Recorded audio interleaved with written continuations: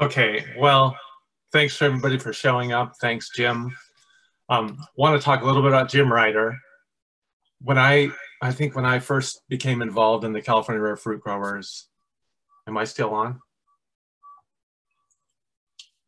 When I first became involved in the California Rare Fruit Growers in the early 90s, Jim was, I was a newbie and Jim was one of the veterans. He was, you know, one of the old guard and was, you know, present at every scion exchange, every apple tasting. Uh, well, maybe not that, but if you walked up to Jim Rider, even though he was kind of, you know, the authority on apples, he would take the time, answer any question that you had.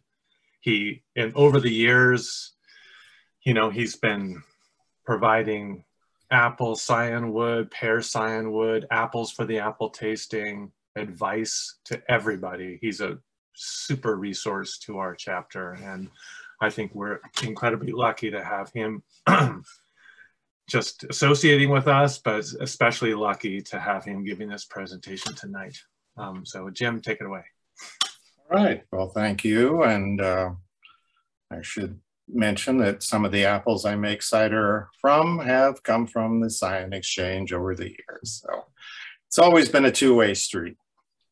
So um, I'm going to try and keep this fairly simple. I'm going to um, not get too far into complications um, and try and get over over what I think are the basics, a lot of which is is my opinion and it's perfectly okay for people to agree or disagree with that.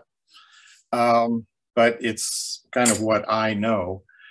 Um, so I'm going to start with um, just talking about the apples first, and we're going to go through the program kind of as I would make cider kind of step by step.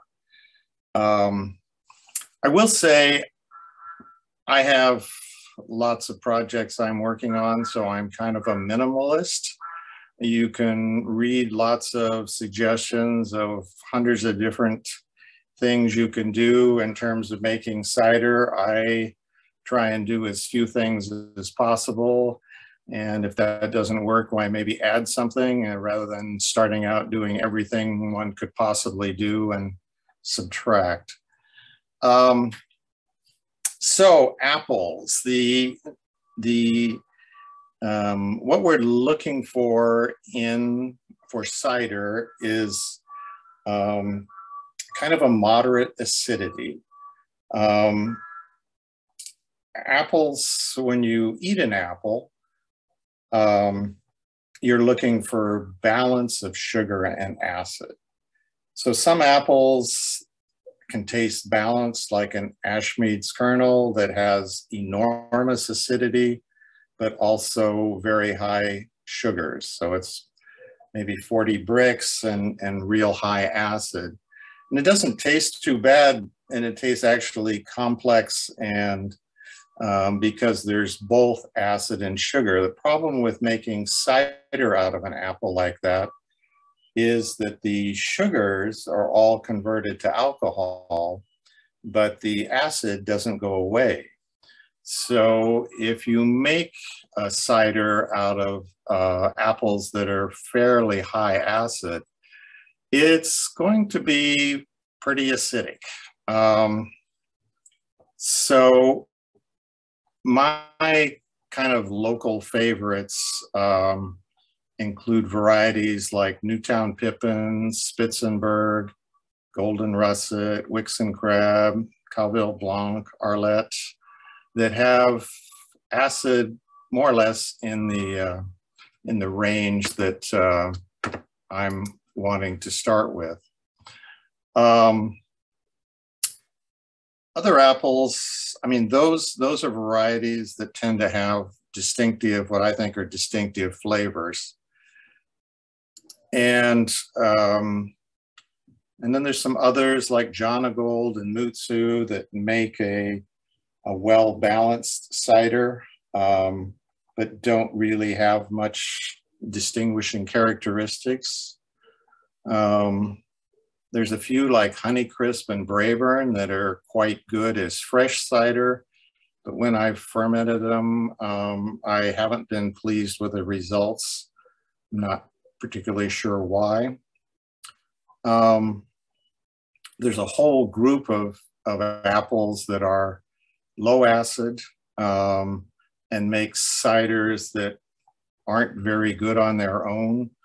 Um, and this is the case too of the uh, fresh juice isn't, I think, real good. If you make cider out of Red Delicious, Golden Delicious, Ambrosia, Gala, Hudson's Golden Gem, even Fuji, um, there's not enough acidity to give it much character. And so those, those ciders tend to be quite um, neutral and bland. And then there's a whole range of apples with high acid, um, some of which have made quite good ciders to my taste, but most people might find them too acidic. Um, things like Ashmead's kernel, carmine, pink pearl, um, any most any of the red flesh, um, hidden rose, rubaiyat, um, even Cox, McIntosh,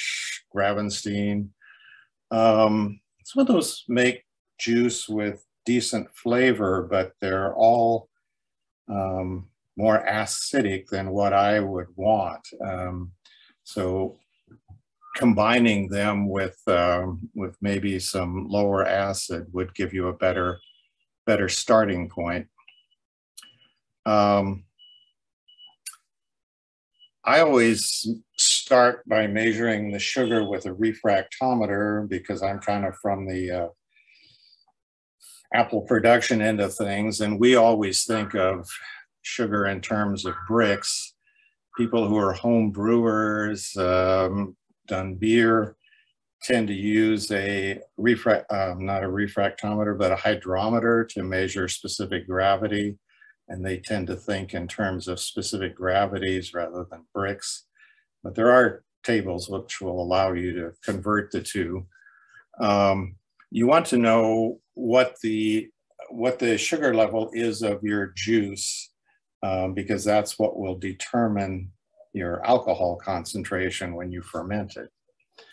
Um, just as a kind of a gross rule of thumb, um, your your alcohol content will be slightly more than half of the Brix level.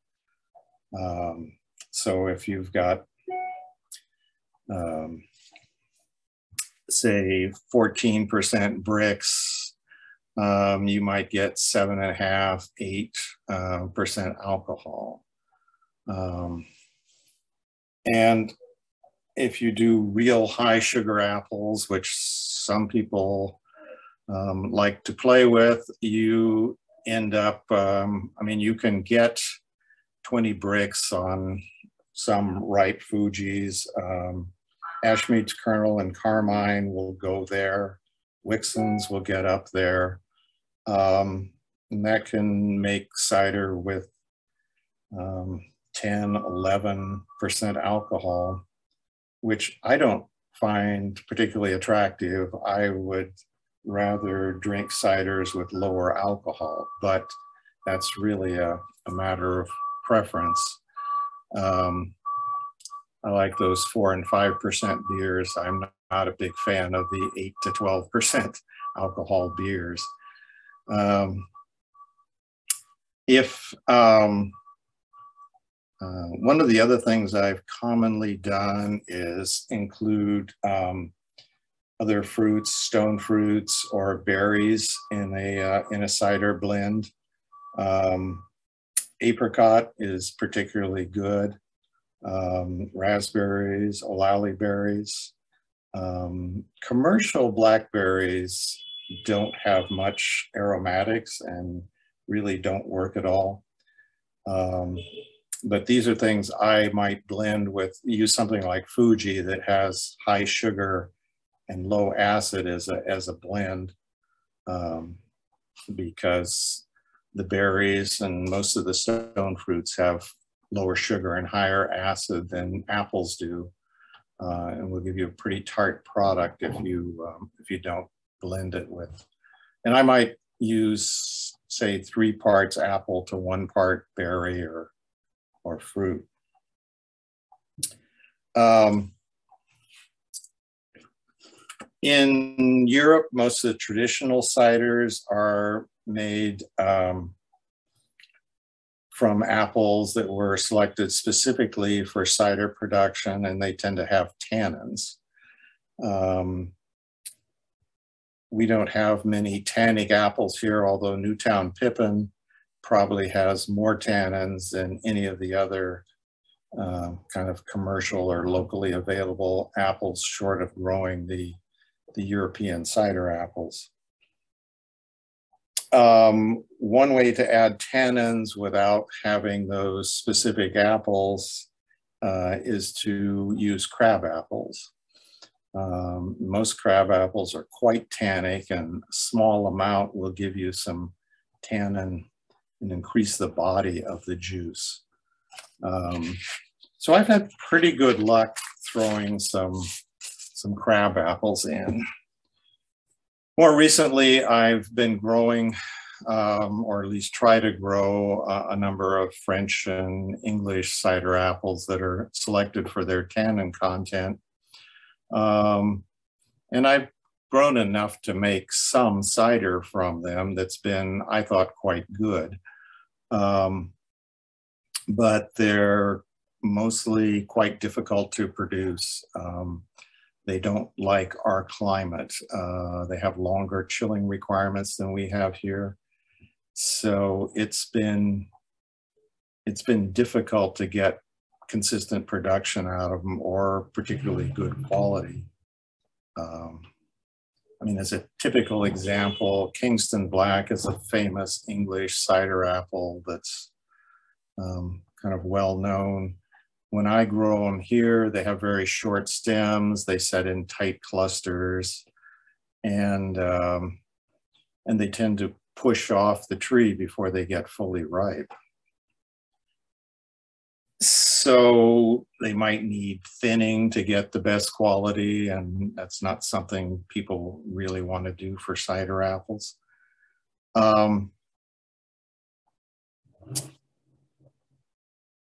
for for cider, there are some things you can do that you wouldn't normally want to do for for juice. Um, like traditionally in a lot of areas, apples are taken off the ground for cider. Um, in England, cider orchards have very large trees. They graze animals under them. Um, they just pick the fruit up after it falls on the ground. Um, I don't really recommend that. Um, I prefer to use apples off the tree, and I've always had availability of fruit off the tree. Um, it avoids a lot of the problems of um, off flavors from rots. And, um, and I think you eliminate a lot of bacterial contamination that you might end up with. It's um, so I would um, I would usually start with hand-picked apples off of trees. Um, would wash them usually with a hose um, just to rinse them off. Um, I know I've seen people put them in tubs and wash them, um, which seems like might be just a way to spread any contamination from a few apples to many others. Um, so I don't think that's a particularly good idea, although if you are going to use fruit off the ground, um, washing them is going to be fairly important. Um, you do want to use ripe apples for um, cider. And um, a lot of traditional cider production involves picking apples and then letting them sit for a couple of weeks so that all the um, all the starch can be converted to sugars. Um, I don't think that's necessary here. That's more of a European practice where they have fairly cold growing season and some years don't get the sugar levels on the tree that they would like. Um, here it's pretty easy in most cases to leave the fruit on the tree until it's fully ripe. You have the most um, flavor development and then um, then you can cold store them for a while and, and make it when the when it's an appropriate time for you.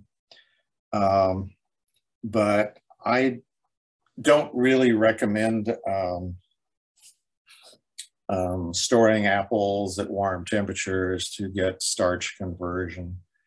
Um, and it's certainly a very bad idea if you're drinking fresh juice. Um, some of the contaminants can be dangerous um, if you don't pasteurize it. And uh, I, I, mean, the nice thing about cider is that the fermentation process uh, is fairly effective in eliminating pathogens. Um, that's why historically people drank alcoholic beverages in Europe because um, it was far safer than drinking the drinking water, which was frequently contaminated. Um, even uh, so the alcoholic fermentation process will eliminate a lot of the bacterial contamination and it's even effective in, um, in breaking down some of the fungal toxins that might be, might be found in the juice. Okay, so we've selected some apples, hopefully. Um, uh, I mean, there are there are lots of places to get apples. I'm assuming as a group of rare fruit growers, many of you will have are interested because you have unusual varieties and would like to see uh, what you can do with them. But it's certainly possible to buy apples um, to make cider as well. Um, and you know, in some cases, maybe getting together a group would work. I, at one time, I sold, um, oh, like three or 4,000 pounds at a time to uh, a couple of home brewing groups who, you know, split the apples, rented or borrowed a grinder and the press and, uh, and a whole bunch of people went in for a week, had a weekend party and, and, and made made juice. Um, okay, so you've got your apples. Um, next thing you need to do is grind them up. Um, you want to do that in a fashion that gives you a relatively or sort of a medium coarse, eight to half to quarter inch chunks of fruit. If you mill it too finely, um, it kind of slimes over in the press and is harder to get juice extraction from. Um, so generally, uh, something that's purpose built for grinding apples is, is the best choice. Um, I've got a picture of a um, grinder I use that I think we can throw up on the uh, screen here with a, a Speedle with a long yellow. There we are. You can see that? Yeah, I can see it. um, it's it's it's a kind of a simple and elegant machine. There's a motor and uh, and spinning blades at the bottom. It's got a long tube, so you can't reach your hand down and hit the and hit the blade. Um, you just throw the apples in the top. Um, it's claims a capacity of something in the order of 30 or 40 pounds a minute. So um, you could make a lot of juice with something like this. Um, it just pretty much will grind them up about as fast as you can dump them in there. Um, this particular machine comes from um, from um, from Germany, and it's got a 220 motor. So um, it might be difficult if you don't have a convenient 220 outlet to uh, to use it. But there are other similar machines that are made with um, with 110 motors. Um, so there are some, you know, there are some other things one can do also. I mean, I, if you want to make a couple of gallons, uh, you know, just a tabletop kitchen juicer would probably work. And I do know people who, you know, as a cheaper alternative, mount a garbage disposal on a tabletop. Um, and um, you can do a fair amount of um, uh, of juicing that way for you know with a hundred and something dollar um, garbage disposal, but it does make a, um, a, finer grind than than would be optimal. So I think it reduces your yield somewhat doing that. Um, there are also hand grinders um, that you can buy for a couple hundred dollars that are um, this this one runs about a thousand dollars, and I think similar things are kind of in that neighborhood. So you might be able to find a hand grinder for a couple hundred dollars or somewhere in that neighborhood for. Um, and then there's, you know, if you can find old presses, um, that can be interesting too.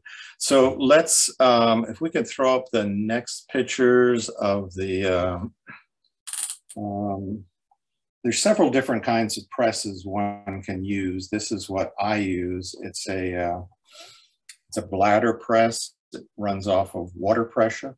So you just hook it up to your garden hose and it's got a balloon inside that blows up with the water pressure and pushes the pushes the pomace to the sides.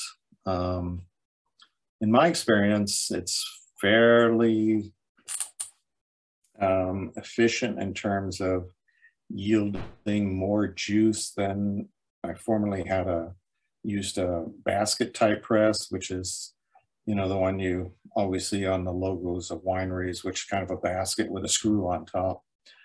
Um, those um, might give you two, two and a half gallons from a 40 pound box. And this one could give you closer to three gallons from your typical bushel of apples. Um, and then the other, um, particularly if you're getting into a little larger production, the other system is called the rack and cloth, where you use um, wooden racks um, and then fill a kind of a cloth bag um, on top of the rack, then put another rack and another cloth bag full of pomace, and you build up these what are called cheeses of, of, of uh, maybe two inch layers of pomace with, with racks in between. So that um, uh, you you don't have a big mass like you would in a in a basket press. You have smaller masses, and so the uh, um, the uh, yield is is is better. Theoretical yield is you know is somewhere around um, four gallons out of a 40 pound box would be you know, the maximum theoretical yield. Nobody's going to get that much, but to give you an idea what um, uh, commercial presses can do somewhat more. They usually use uh, pressing aids like rice hulls or wood chips to keep the um, keep the pomace open and keep channels open in the pomace so the juice flows out better. Um, particularly important with some varieties. Red Delicious and Gala are very hard to press um, because they they make kind of a slimy um, uh, pomace that that seals off. uh, and you you just can't push the juice through the that kind of that outer layer. There is there is a fair amount of difference in different um, in different apples and in different size apples what your recovery might be. Um, frequently, juice apples or apples that weren't suitable for other purposes, and a lot of small apples uh, get made into juice. But your recovery is much better from large apples than small apples. Um, very small apples are mostly skin and stems and seeds and core. Um, so if you have, have um, very small apples, your, your yield may be quite low. I've pressed some crab, small crab apples and um, you get very, very little juice out of them. Um, okay.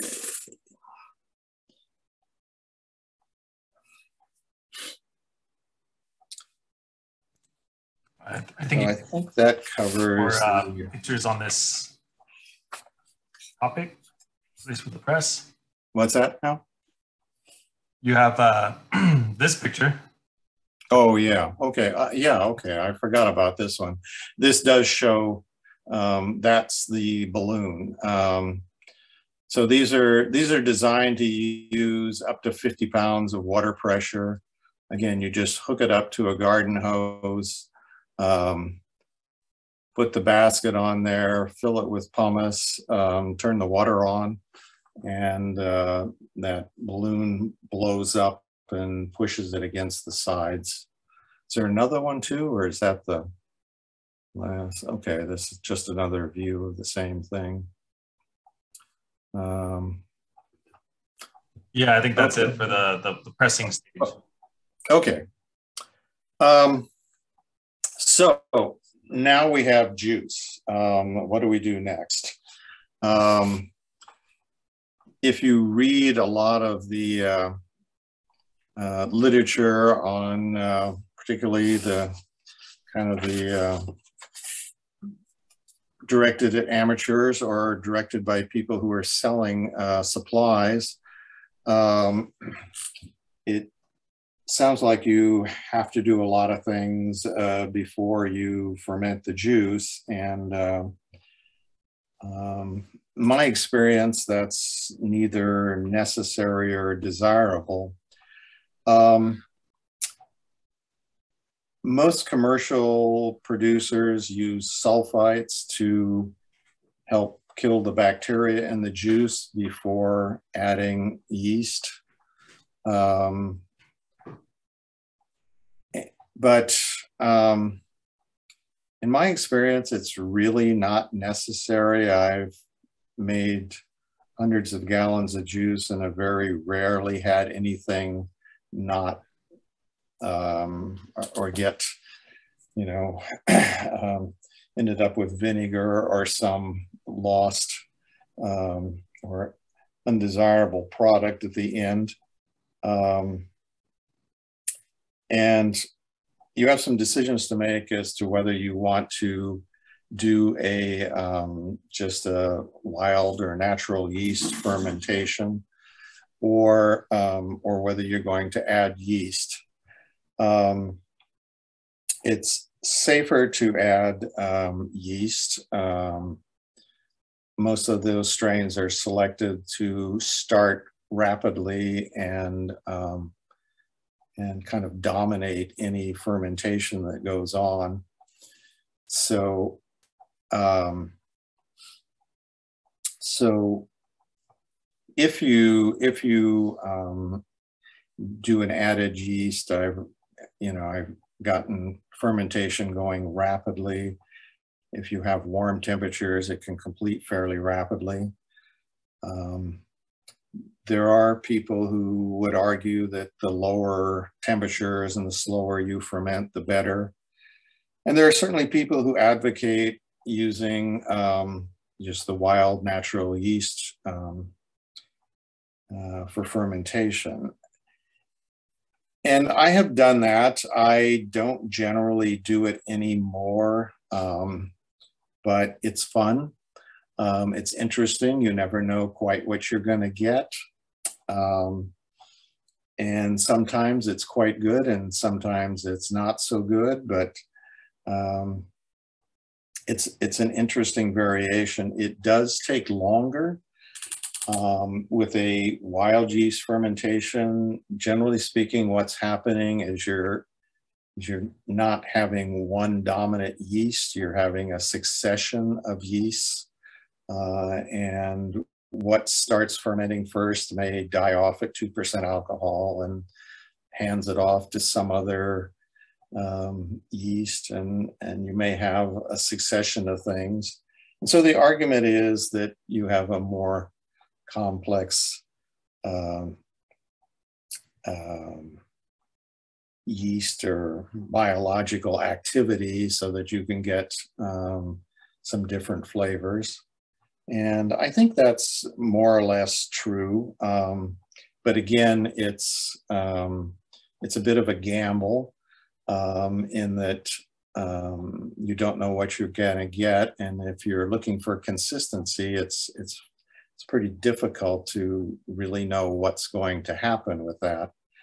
Um, there are, you know, indications that before people had commercial yeast additions that a lot of cider makers or winemakers had consistent um, um, results in their production because um, the yeasts were um, on their wooden equipment, in their wooden barrels, you know, hanging from the cobwebs in the ceiling of the barn and so on and so forth, so that if you made the same juice in the same barn year after year, um, you might over time end up with a fairly consistent and distinctive um, yeast strain that was different than what your neighbors uh, would use.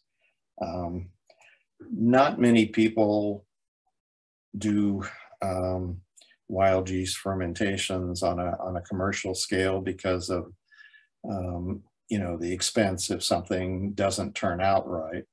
Uh, if you're doing a gallon, you know, it doesn't turn out, why, no great loss. But if you're doing 10,000 gallons, um, then it's a bit of a risk. So most commercial uh, producers would use sulfites to somewhat clear the slate and then use their preferred added yeast to get a, a consistent product from year to year. And that may or may not be what you're looking for. Um, you can add yeast nutrients. I haven't really seen a need for it. Some people add pectinase to get the juice to clarify earlier. I don't think that's really necessary or particularly useful. Um, and um, you can actually buy acids and tannins and all kinds of other additives.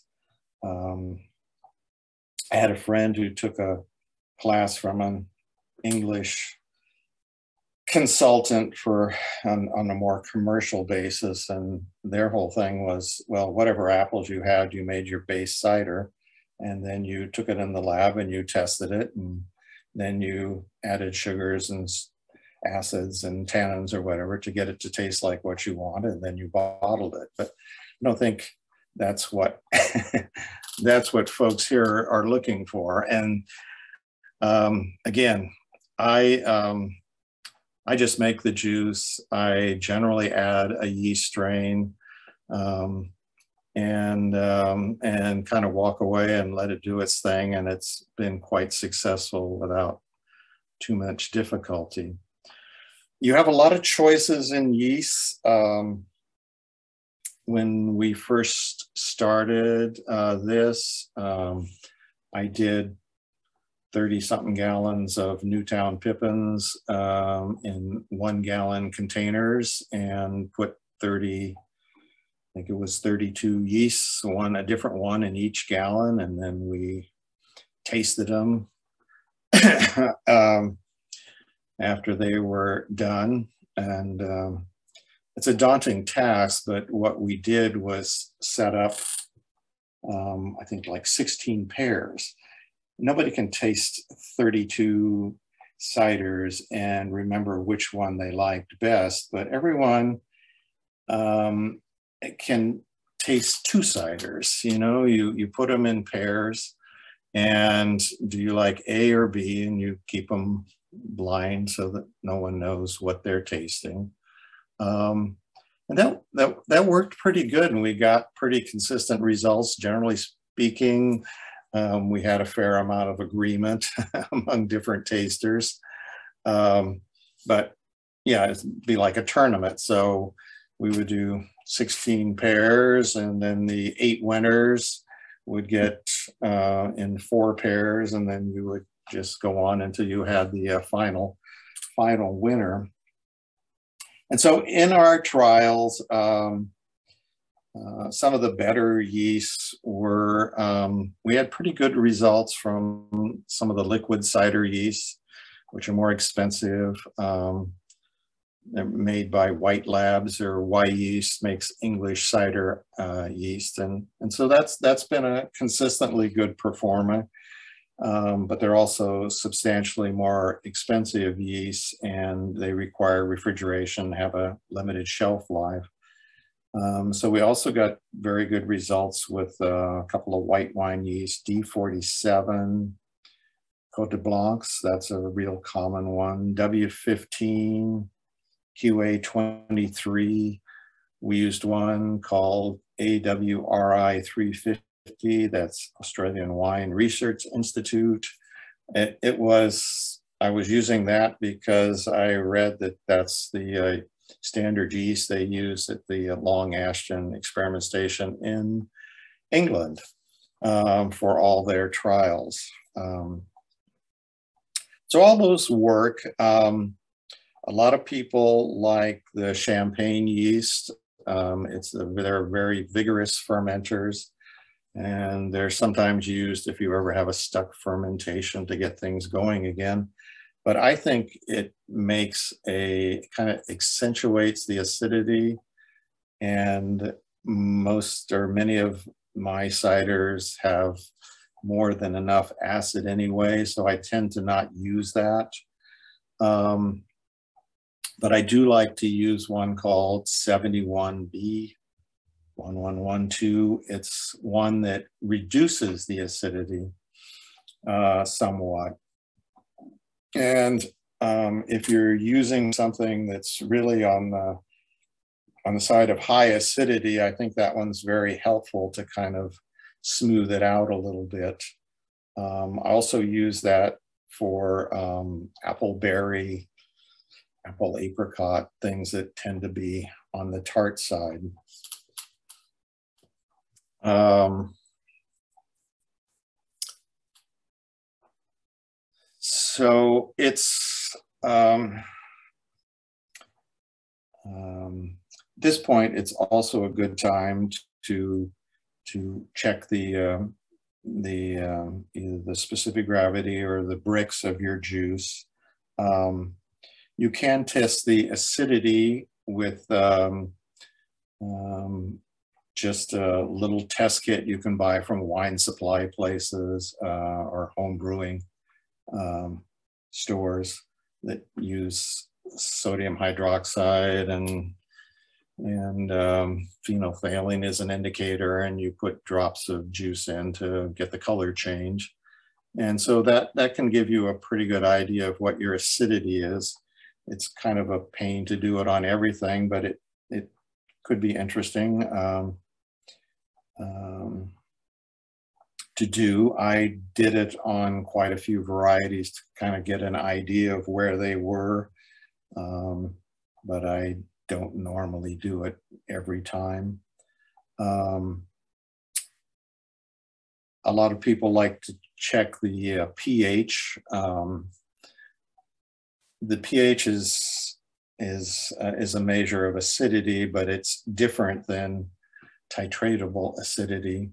Um, you can't taste pH, but pH is important in terms of um, the uh, likelihood of, of bacteria growing and things going wrong.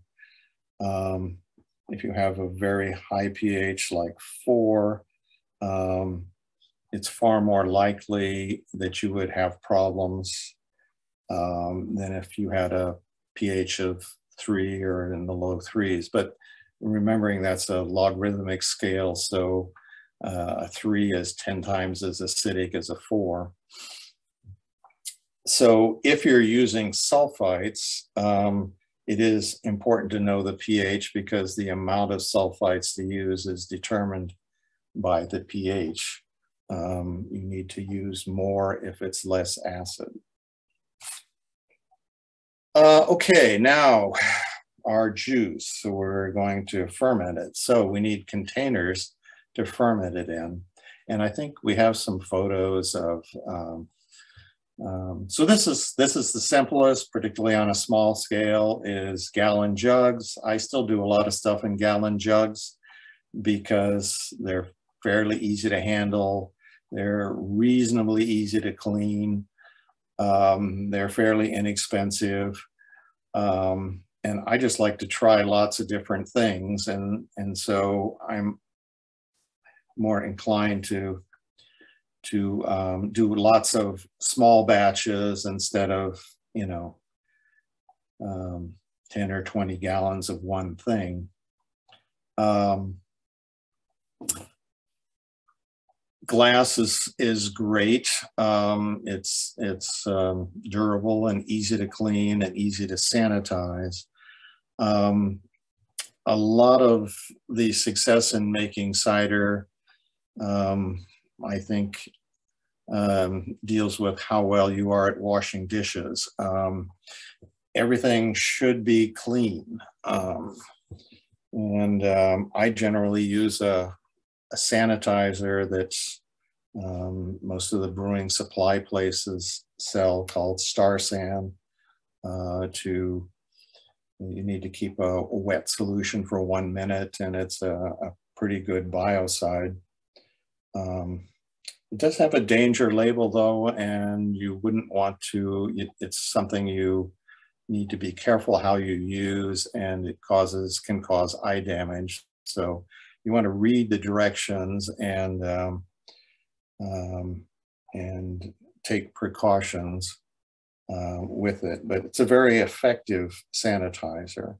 Bleach can be used also, um, but you need to be very careful about rinsing it. Um, the Star San doesn't, they, the recommendation is that you not rinse it. So you, you keep that residue on there. So it seems like it's not a problem to eat it, but splashing your eye, splashing it in your eyes could be a, um, a rather dangerous situation. Um, you're you still have to have the bottles clean though before you sanitize them. If there are, if there's any kind of uh, particles or debris or something stuck in the bottles, why then the sanitizer is not going to be effective on that. There's also, let's um, look at some of the other possible containers here. This is a um, HDPE, high density polyethylene, I think. Um, these are um, hard plastic that's designed for aging wine or cider. Um, but in general, um, you want to be careful about using plastic containers. Um, um, they they're not made for that purpose. They can they can create um, um, off odors or flavors, and uh, they may not be impervious to oxygen when you're trying to keep oxygen out of them. Um, so if you're using plastic, go with something that's specifically designed uh, for the purpose of making fermented products. Um, let's see. And then you can see the fermentation locks uh, on top of the containers of different styles. Um, it's um, so when you're fermenting your juice, you you basically want to have a check valve on top that will allow the CO2 that's being formed as a product of the fermentation to escape without allowing any oxygen to get back in. Um, so the water allows the CO2 to bubble out, but doesn't allow anything to come back in. So uh, when you're fermenting your, your, your juice, um, you need to keep it under a fermentation lock. And um, for your initial fermentation, you don't want the tanks quite as, or bottles as full as these are in the pictures. Um, this is more for longer term storage after initial more rapid fermentation. If you fill the containers that full to start with, then you'll have um, you'll have a volcano. Things will um, push out the top and kind of make a mess. So you you want to do with your initial fermentation, you have rapid evolution of CO2, and that protects the uh, um, the juice from exposure to to air. Um, red wines, they ferment them in open containers for the first uh, few days. And just the, the fact that they ferment rapidly and have a basically create a layer of CO2 on top. Um, but if you have longer fermentations or you're, you know, in some cases, if I start late in the season and the temperatures are cold, it may not finish fermenting for several months until spring when temperatures warm up again, unless you do them in a heated building. And in that case, you want to have your containers almost completely full so that there's as little exposure to oxygen as, as, uh, as possible.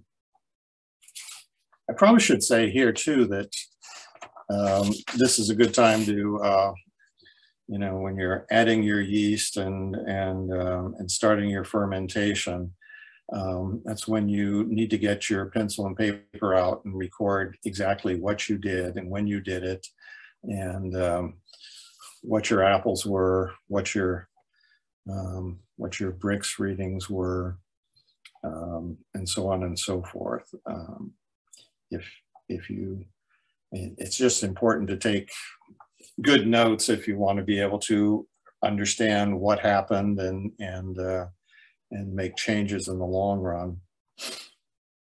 Um, so there's and this is just another another type of container. Um, you can also use uh, lots of people use six gallon, five gallon glass um, carboys, um, but they're heavy. Um, if you wash them, they're slippery. Um, and it's, it's um, a lot of people have dropped them and uh, had some kind of dangerous situations where broken glass and, um, and, and they're pretty heavy. So, and they're also very hard to wash. You get a long bottle brush and so forth. So these containers with a bigger lid um, are, are for me easier to deal with and easier to handle, um, particularly the uh, like the ones with handles on them and so forth. Um, so, okay. Um, so a lot, a lot of people uh, are uh, advocating doing very long, slow uh, fermentations, and that's somewhat traditional in Europe uh, in particular, because by the time the apples are ripe, it's quite cold. And so the fermentation would essentially not complete till the following summer. Um, and then um, and of course, the people who do it that way say it's uh, more traditional and better, and you get more complex flavors. And maybe true, I don't know. I've kind of done both. Um, as opposed to say your commercial, your your volume commercial producers are are doing a very different thing. Um, instead of making one batch a year in the fall, uh, they're buying concentrate. Um, it's more like a, a, beer brewery. You do a batch in 10 days, uh, you move it on, you um, bottle it, you, you, bring in more concentrate, um, put more water in and, and do another batch. And so you, you don't maintain a lot of inventory. So it's a much cheaper system than, than making it once a year and uh, and then uh, working off of that, that inventory for a long period of time. Um, I generally find that it takes uh, a certain amount of time to for the uh, for the juice to clarify. Um, so if I I've done stuff in August at times that ferments to completion quite quickly, um, but it may take several more weeks for it to really uh, completely clarify. Uh, generally, cold temperatures are an aid to clarification. Um, I mean, theoretically, you can filter it, but that's not something anybody really wants to do on a home basis. Um, so the idea is to uh, ferment it until you get it to um, to basically zero on a final um, uh, on a uh, hydrometer reading. Um, and there is a final gravity hydrometer that's made just for, as a very narrow, I think there's a picture of it if we, uh, those are, those are the fermentation locks. This is a device, those are, that's uh, for bottling, that's a siphon, a, a self starting siphon to, um, and there's your uh, hydrometer. Um, and you notice it has a very tiny um, um, top piece so that the the um, differences between the numbers are, are, are well spread out. You can't really read it, but um, um, divisions there are like between um, uh, just, I don't know, just um, very fine divisions. It's hard to tell when you've reached zero if you got a, a hydrometer that goes from zero to, um, to 60 or something. And, and so you want one of these final gravity hydrometers. Um, and actually I broke this one when I took the picture of it. You do have to be very careful with them.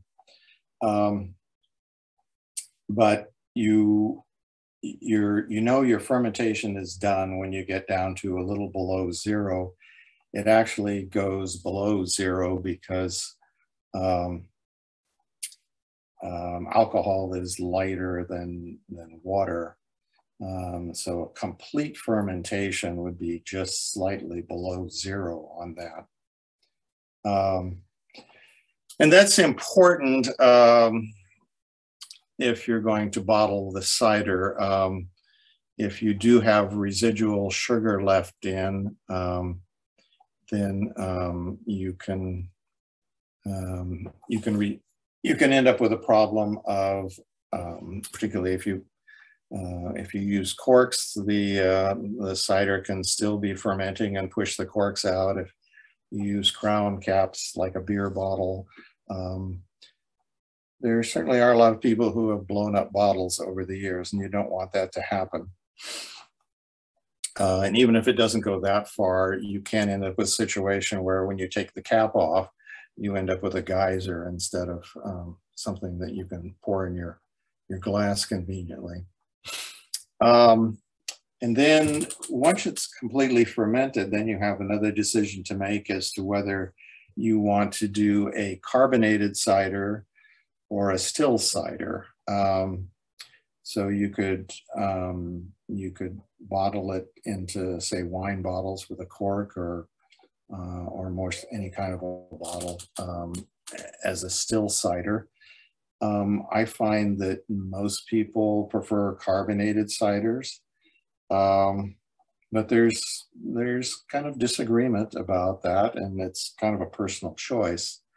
Um, there's a group in England that's advocating for um, only still ciders because uh, traditionally cider was never carbonated. Beer was, but um, cider was basically fermented to completion and sat in barrels uh, for the remainder of the season while it was being consumed. And um, in, in fact, carbonated cider is a relatively recent innovation.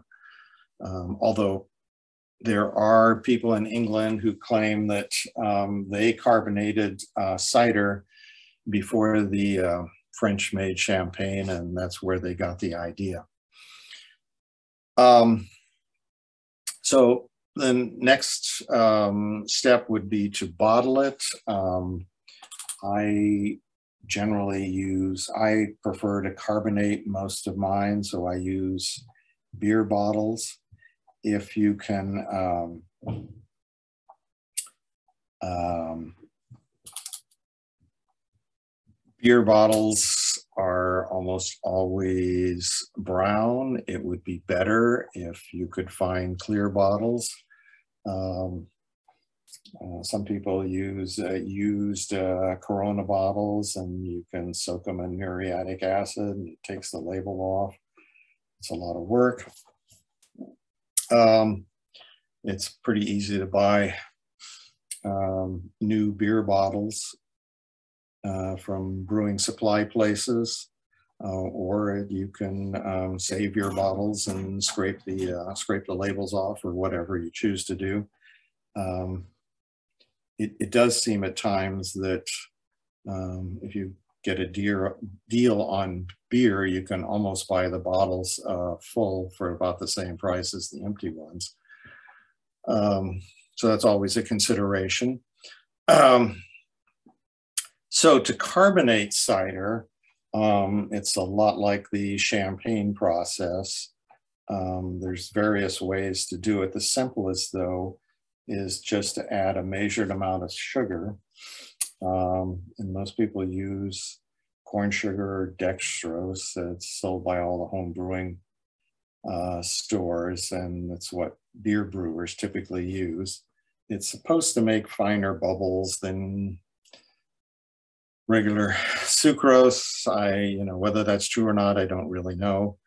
Um, and so for a typical beer bottle, uh, the amount of sugar to use is uh, four ounces in a five gallon batch, eight tenths of an ounce per gallon.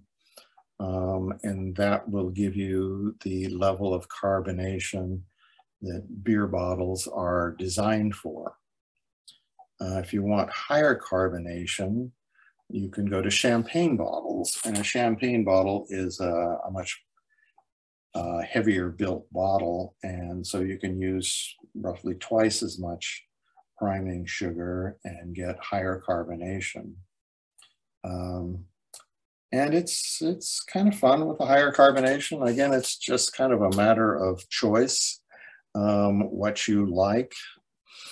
Um, I think if you are going to store it for a long time, doing it in larger bottles is probably a good idea. Um, the crown cap, um, you know, that's used on beer bottles is really not designed for long-term storage like a cork would be. Um, but I have some that are eight, 10 years old and still seem to be fine. So um, that's probably too long to keep the stuff anyway. Um, so I, I don't know if if you really wanted to um, to store stuff for a long time, then you you need to buy champagne corks and and wire them down, that kind of a thing, um, and then you have the uh, the same kind of a system as champagne. With champagne, you turn the bottle upside down and bounce it up and down to all the yeast uh, because this carbonation is created by yeast that's still in the cider uh, working on the added sugar, and that's what creates the carbonation under pressure. Um, some people, in fact, add some yeast when they do this, and I've never found that to be necessary. Um, but, um, and, and if you really want to do a champagne style, then you turn the bottles upside down so the yeast goes into the into the neck of the bottle and then you freeze the neck and then you eject that part and then you fill it back up again um, and then you get um, kind of clear champagne in the bottle but um, I think it makes it's a lot simpler just to um, quit pouring before you get to the bottom of the bottle and uh, and, let it go from there. Um, and then it's time to drink it. Um, there are, if you're serious about, you know, keeping track of your efforts and, and uh, there are quite a few um, score sheets for cider that you can find on the internet that um, that are probably helpful in giving you a list of things to to kind of look for and you know categorize the uh, different uh, uh, put numer numerical scores on the different characteristics and uh, I think I did, maybe we should go back to a couple of pictures there of um, kind of glossed over the uh, bottle filling, but I did have a picture of a, a tube with a bottle filler on it. It's just a little valve on the bottom of a, of a, of a tube that, um, okay, that's siphon. That's used to, I did, okay, that's the bottle filler. So it's got that little point on the bottom and you push it down and the juice comes out or the cider comes out. And then when the bottle's fill, full, you lift it up and it quits. And then you go to the next bottle. So that's a real um, um, saving of time and energy uh, in filling the bottles. Um, the other device there was a siphon, and I, I did kind of miss that point though, is that um, sometime in that aging process, um, you would generally want to rack the cider off into a clean uh, container. So um, the initial fermentation, couple of weeks, will put a lot of uh, sediment on the bottom. And it's a good idea to rack that off into a clean container and using a siphon is, is the approved way to do that. You don't want to expose um, the cider to air any more than necessary. So siphoning it above the sediment layer and then running a tube into the other container so that you're not splashing um, so that the tube is is remains under the the, the uh, cider level in the in the container you're going into. Um, so you're not splashing cider or, um, you know, basically um, introducing a lot of air into the mix. So I think that's about all I have. Um, if we want to move on to questions. So yeah, we got uh, quite a few, and I can uh, start us off. Thanks, thanks a lot for for talking. Um, Irene asks, uh, what about blending in autumn olives or berries into the uh, apple cider?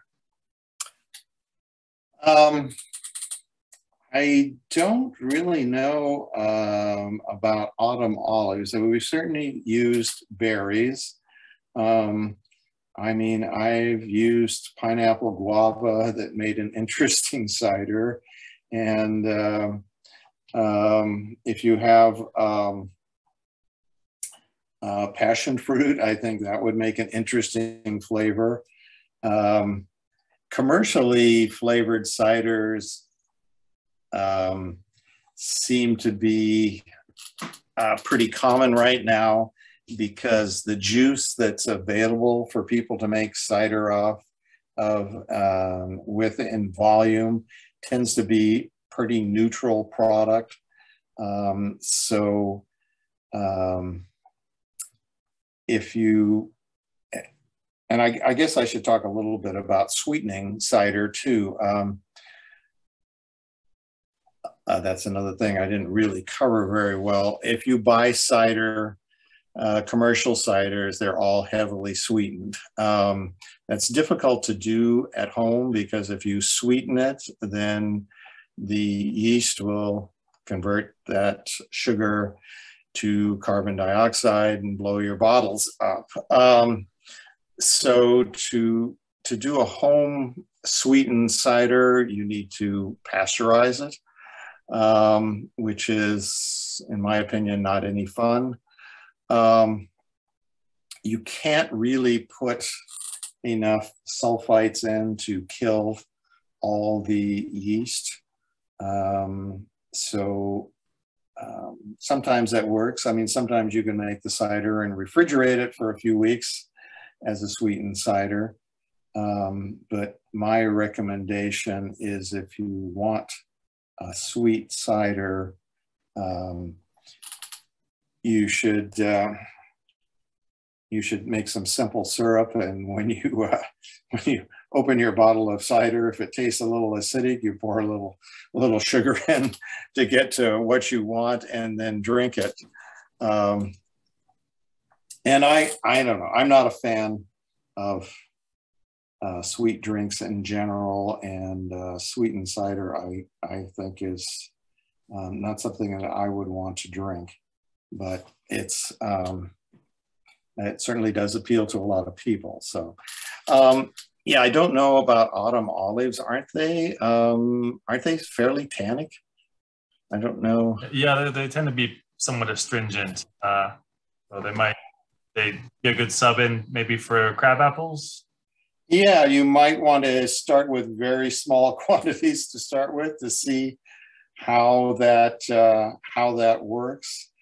Um, but um, you know, um, things you could potentially use as blends, uh, you know, are kind of um, uh, limited to your imagination. Um, I mean, we've done nectarines, peaches, uh, pluots, plums. Um, most of those are not as popular as the apricot. Um, berries, raspberries work well because they're very aromatic. Um, and I think actually a combination of Olallies and raspberries gives you kind of depth of flavor and the aromatics. Um, Olallies are have have a have flavor but very little odor. Raspberries have lots of odor and less flavor. Um, if you have Willamette, I think, you know, or Tulameen or some of the uh, more aromatic raspberries, I think those would be would be good choices. Um, but I think most of the commercial blackberries, um, you know, would give you a beautiful color, but I don't think they would add much in the way of flavor. Um, we have another question. Uh, Stuart, information on the availability of Basque cider varietals? Um, they are starting to be available. Um, Cummins Nursery in New York um, has, um, oh, I don't know, Coloradona. Um, they have four or five that uh, um, that come from northern Spain. Um, they're not very commonly available in the US at this point. And um, I have some of them. They have not fruited yet, so I don't really have any recommendations. They might have lower chilling requirements than some of the English and French varieties, which haven't haven't been good producers here. So it's it's interesting, but I don't really have very much information. Uh, but you can get them. Hmm. Another question from uh, What are you concerned with regarding contaminants on apples if fermented? I don't wash so that I can preserve the native yeast. Um, I think it's pretty difficult to actually wash off the native yeast. Um, uh, from what I've read, a lot of it would be down in the calyx end. Um, I, um, but um, I don't really know. I mean, I've never, you know, um, I've never tried to thoroughly wash fruit like, you know, putting in a chlorine solution or something like that. Um, you know, if you're the pool guy, maybe you know how.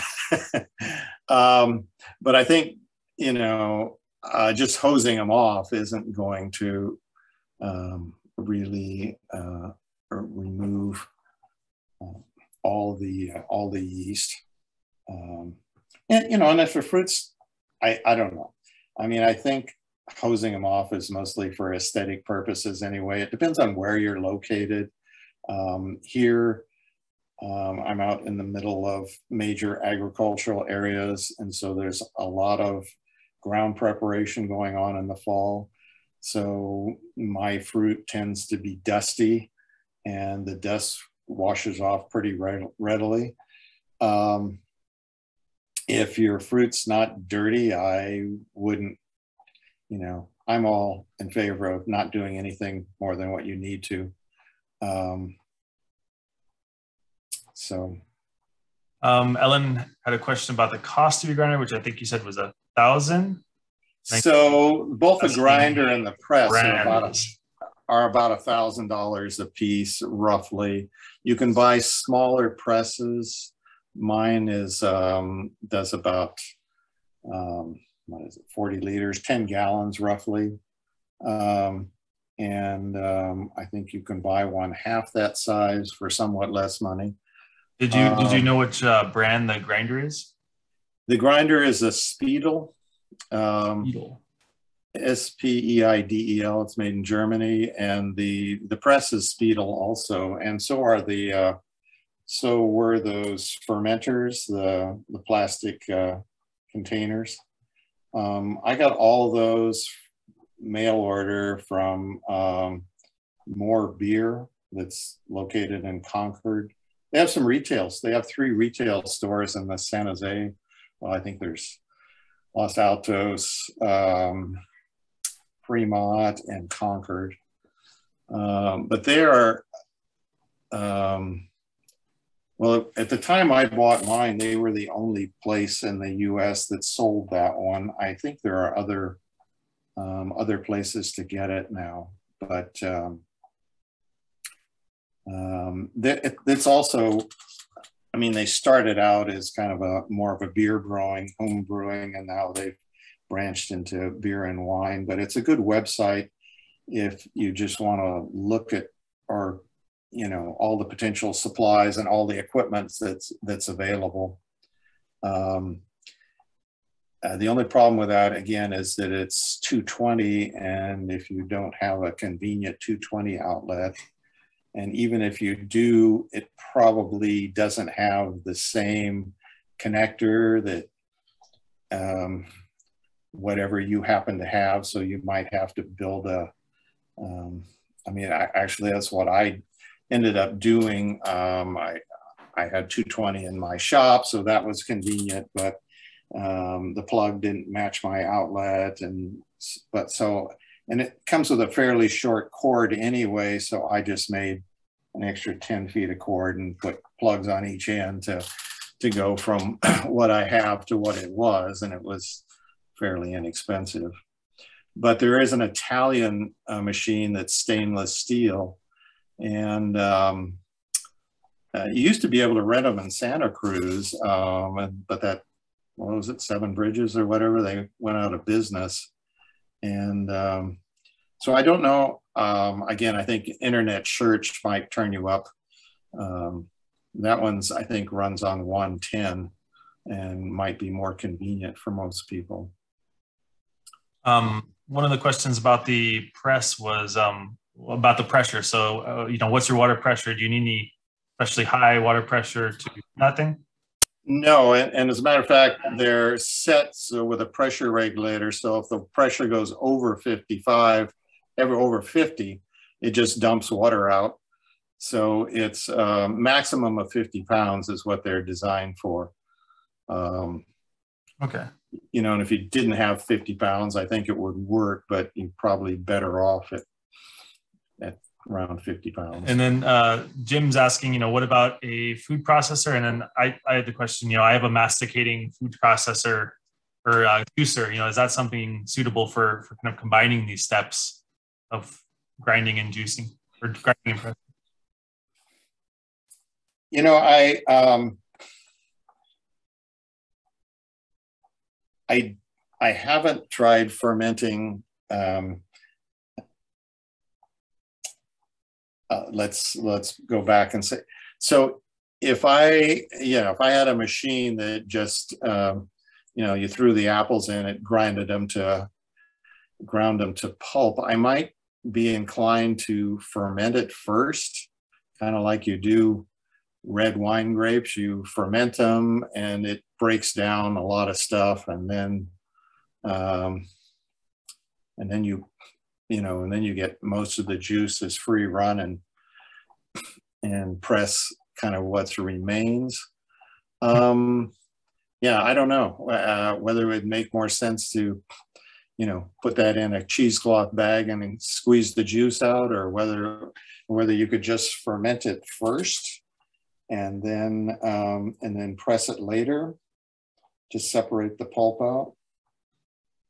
Um, I had um, I had just a tabletop juicer, but it had kind of a screen. It was pretty inefficient in terms of how much juice you got and particularly how much juice you got for how many hours of work. Uh, but it did make juice, and and if you you know just want to do a gallon or two, it makes you know I mean those are relatively inexpensive and available. Um, I mean, in the past, the the equipment's usually been rentable. I don't really know right now. There is a homebrew store in um, Seaside is the closest one. Um, I think it's called Bottoms Up. Um, it's mainly beer brewing, but um, um that might be a possibility. Um, people who brew beer seem to really like the place, but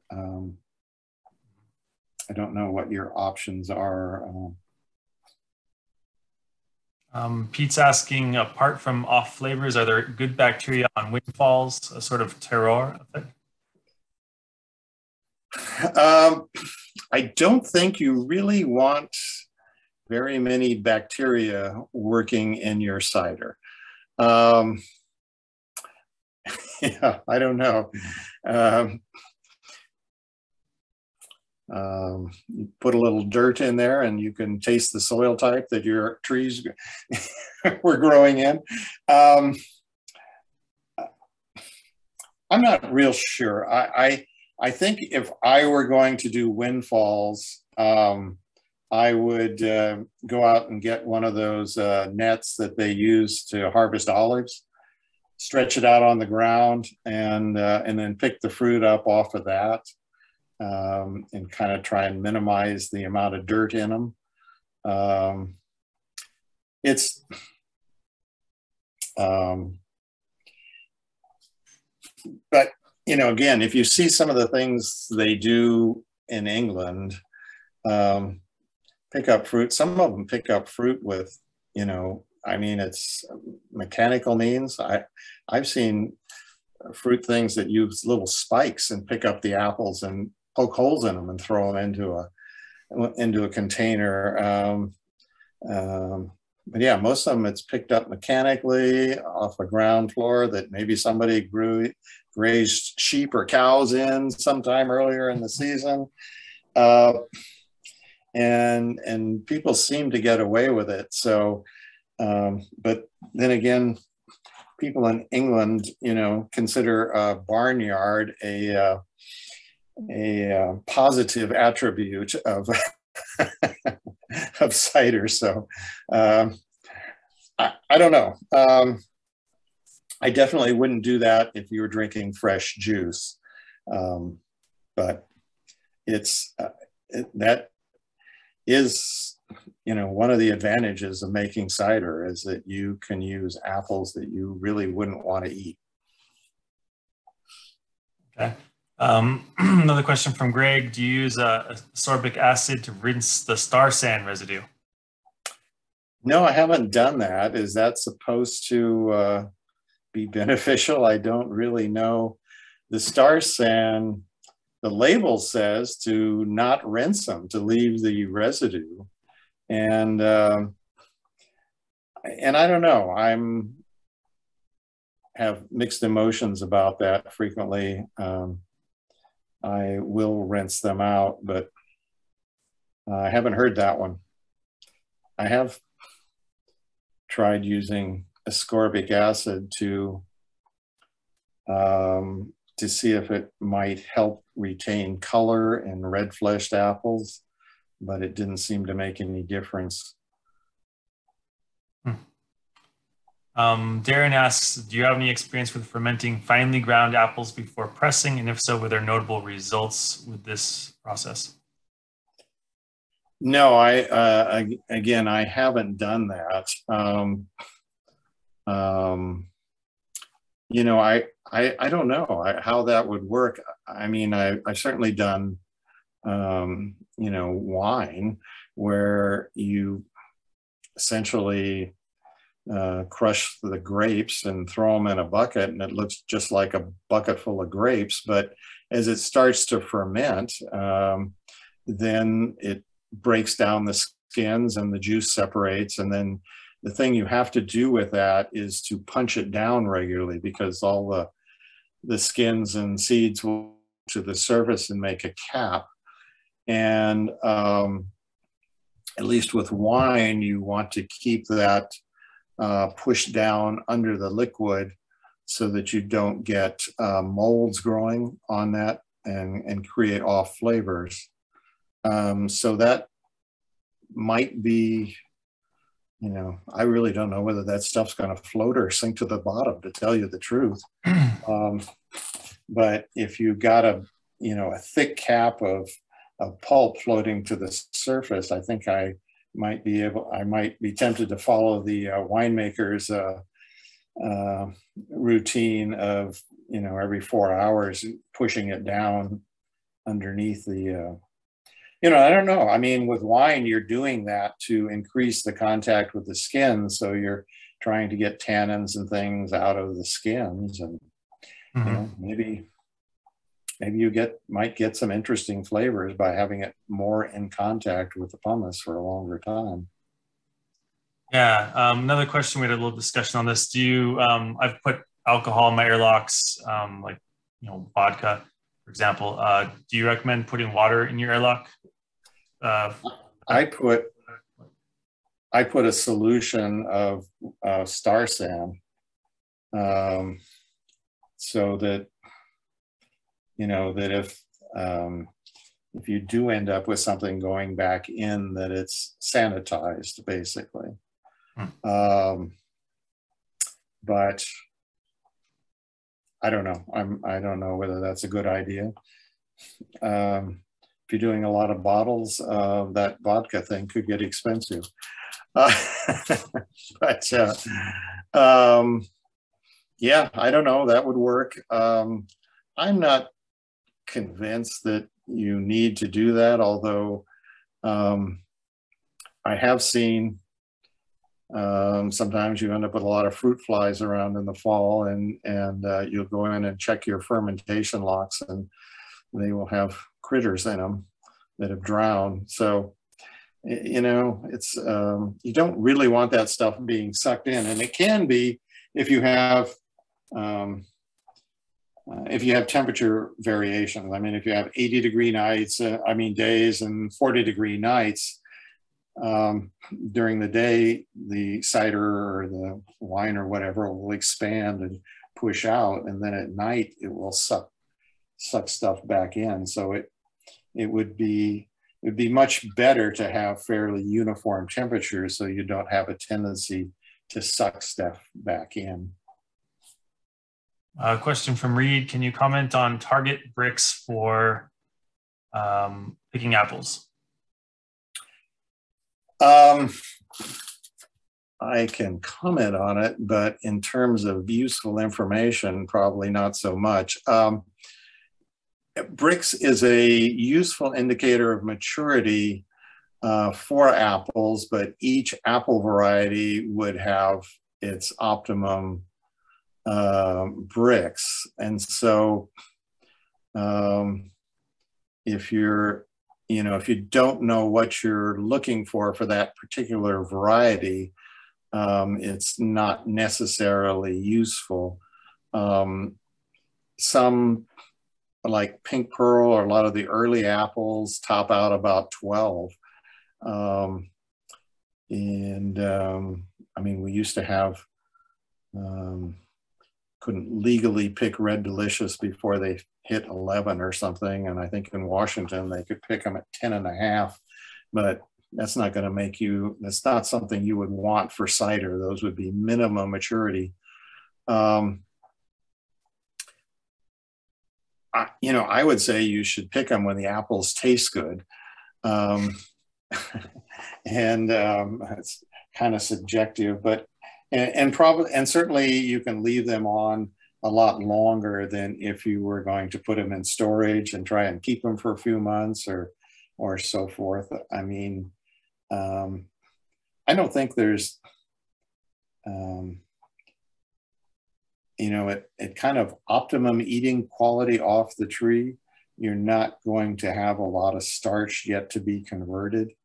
Um, so, I mean, that's not a very scientific thing, but I mean, just as an example, um, Newtown Pippins, um, kind of depends on the year too, but you know, if you're up 14, 15, 16, that's about as much as you're going to get on that variety. Fuji's, um, you can get them more up to 18. Um, like say Karmijn and Ashmead's kernel, those things can hit 20. Um, um, okay. Um, um it's, ask, it's you know, if, if the Brix is too low, would you add sugar to adjust it? And if so, how? Well, um, um, yeah, you can um, raise the Brix by adding sugar. It's um, and that's not an unusual thing in Europe. Apparently, um, um, they talk about some seasons in England where they have trouble getting more than 10 or 11 Brix on fruit because they have a short season. And if it's cloudy, um, they just don't get the, the, the, sugar that we could develop here. Um, there's um, generally not much excuse here for not getting um, pretty decent sugars. We have such a long, mild growing season. Um, and you can hang fruit on until December in most years. Um, and, and I, I, mean, something like uh, if you want to use um, Granny Smith, for example, um, you know, hang them on there until December when they turn yellow. I mean, it really is a yellow apple that's marketed immature uh, by tradition here, um, particularly since northern climates can never get it ripe. Um, but we can get it fully ripe here, but it's, um, I've left them on to Christmas and they're really good at that time. Um, and, and then you don't have that high acidity either, so it, it would work. Um, question from Carol, do you put your apple pulp into a bag while fermenting? Um, the, well, we, we press it and separate the pulp and then only ferment the juices. That's what the purpose of the press is for. Um, um, but again, I think we've talked a little bit about, you know, maybe there would be ways to to ferment it first and, and press it afterward, but I haven't done it, so um, anybody's guess. Um, Reed's asking for cleaning, is Alconox ever used? Usually used for cleaning sampling equipment in environmental cleanup sampling. What's it called? Alconox. I'm not familiar with that one. Okay. I mean, there are other sanitizers. Um, I, you know, Starsan, I think, is by far the more commonly used one. They also make, same company makes one that's iodine based. Um, but um, there are a lot of different um, sanitizers. Um, it's just, um, I end up buying most of my supplies from uh, beer brewing supply places, and that's the most common thing they have available. Um, Reed also had another uh, interesting question, which is, would chapter folks be interested in the cooperative purchase of a grinder? And I guess maybe the better question is, uh, where would people interested in making cider in this area go to to, uh, you know, try it out, try out the grinding and uh, and pressing? Um, yeah, I don't know. Interesting. Um, um, you know, and where would people get apples? Uh, I think um, um, there may be people who would, you know, be willing to sell somebody a couple of bins or a couple thousand pounds of apples. Uh, uh, I'm not exactly sure who right at the moment. Um, but um, yeah, I know the the Redwood Empire chapter. I think has a at least a grinder. I don't know if they have a full press and everything, but I think they. Yeah, um, Redwood Coast Brewing Association is that Red, Redwood Empire chapter of CRFG. Oh, a CR. Okay. Yeah.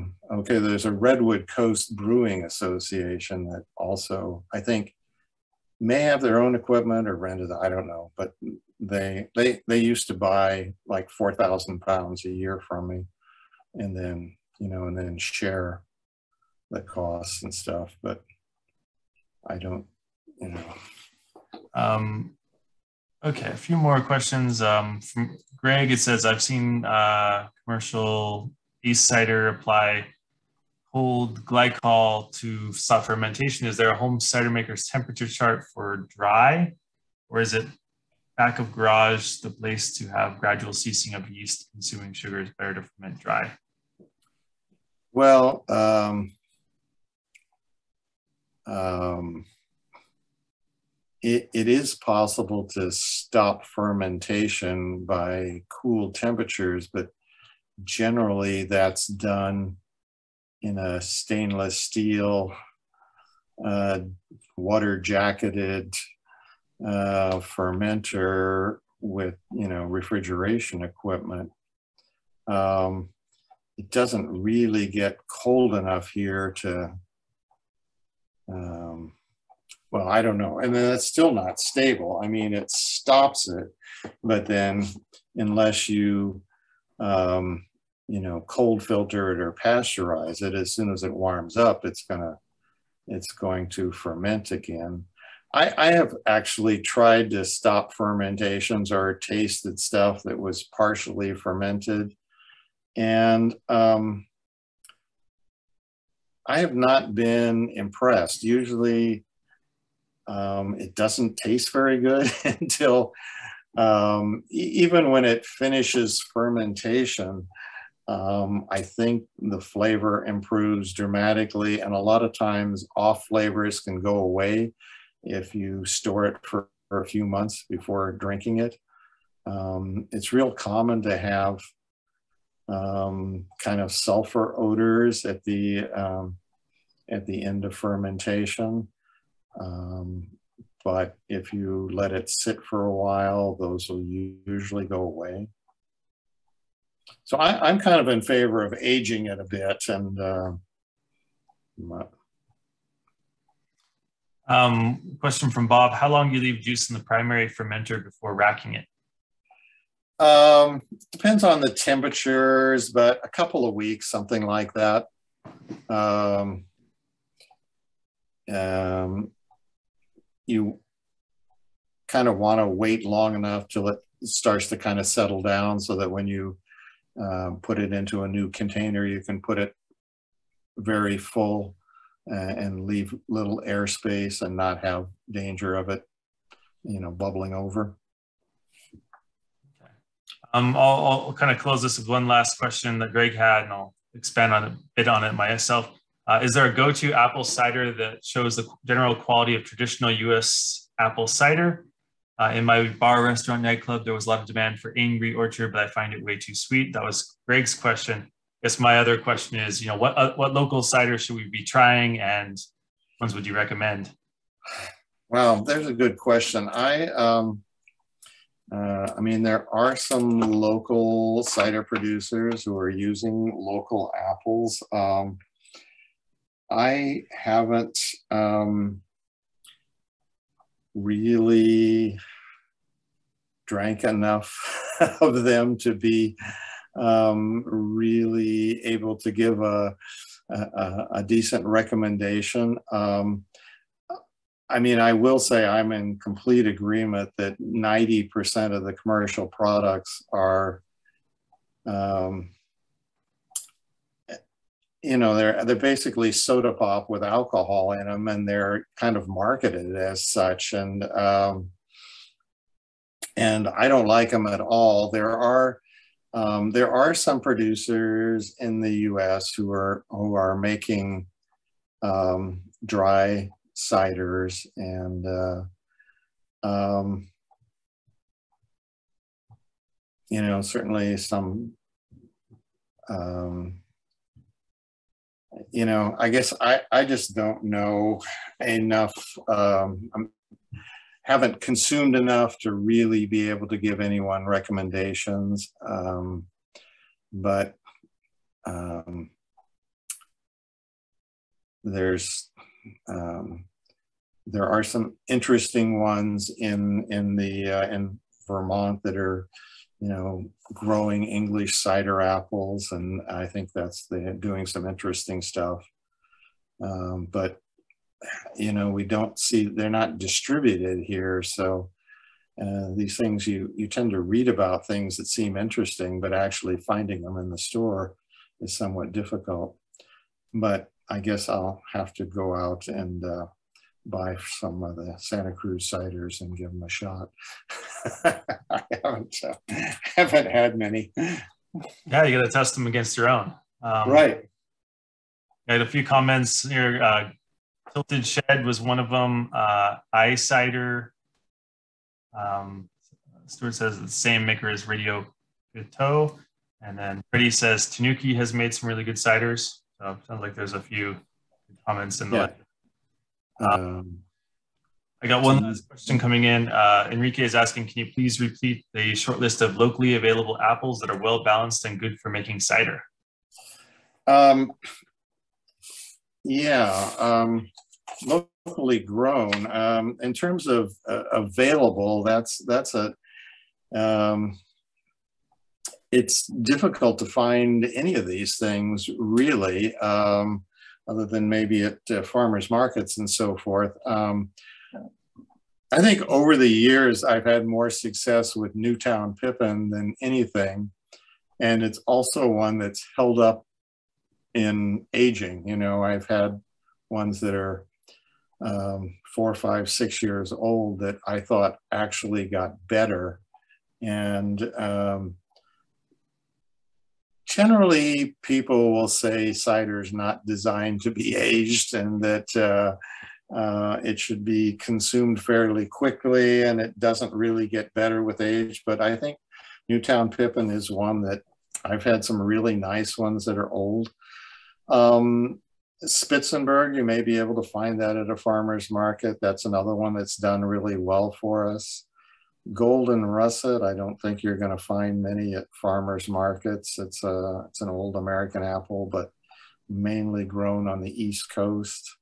Wickson Crab, um, surprisingly, I mean, it seems just like a tiny sweet apple, but it's made surprisingly good juice but you know they're tiny. Um, uh, even growing them, um, I'm not sure I'd want to grow them and have to pick them.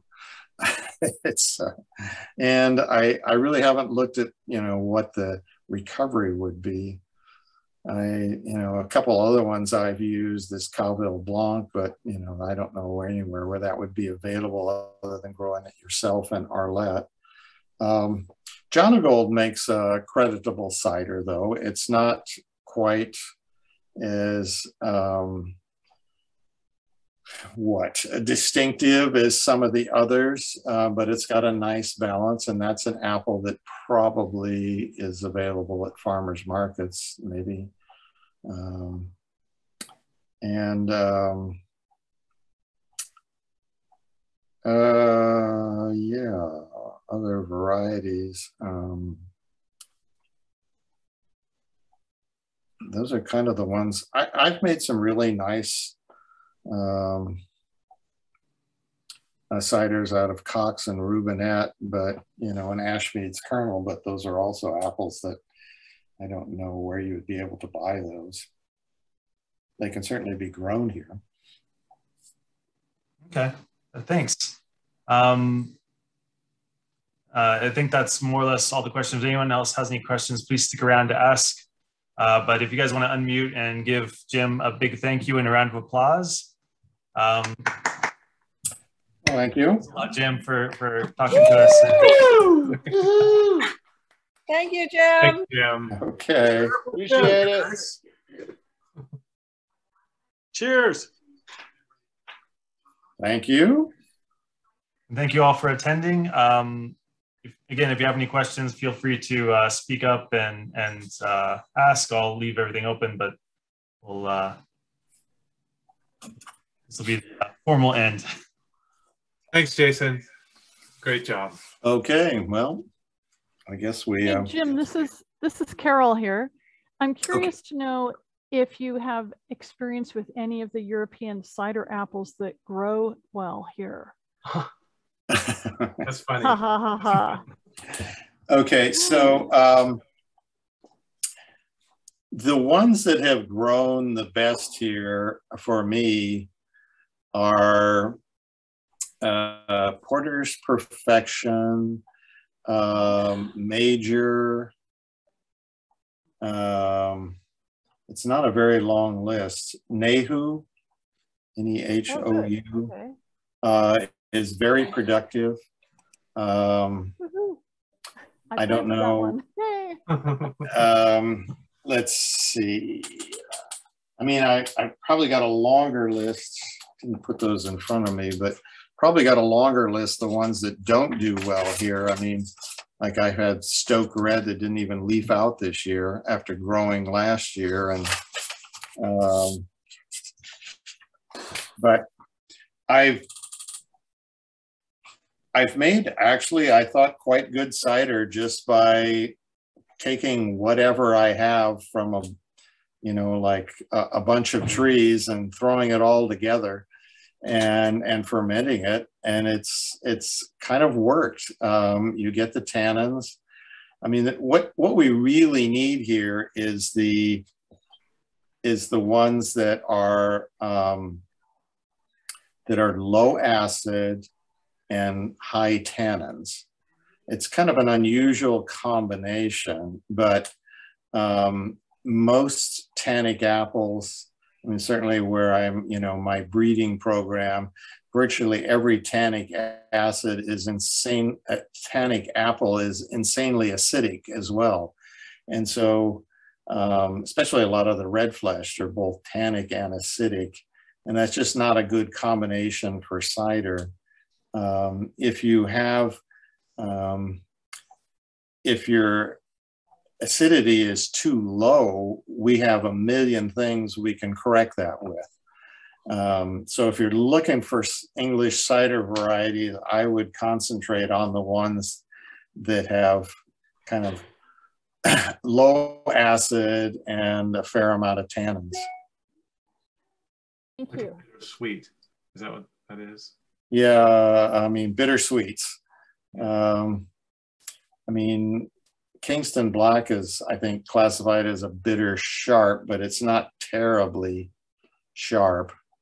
Um, I mean, I think um, in in England, they would have trouble fermenting straight bitter sweets um, because the pH would be too high and they would have problems with uh, contamination and bacterial uh, growth. Um, and they couldn't, um, they would have to blend them. The amount of, of um, uh, sulfites they would have to add wouldn't be legal to actually um, sanitize those.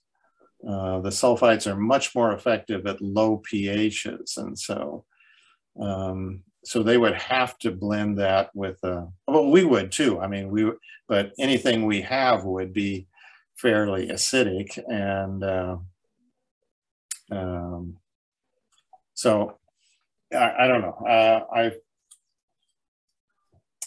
I don't have, I'd have to look at some of the lists to see what they are, but uh, um, that to me, that would be the most valuable would be the ones that that have low acid and and a higher amount of tannins is that that's what we would want to throw in with any of our blends.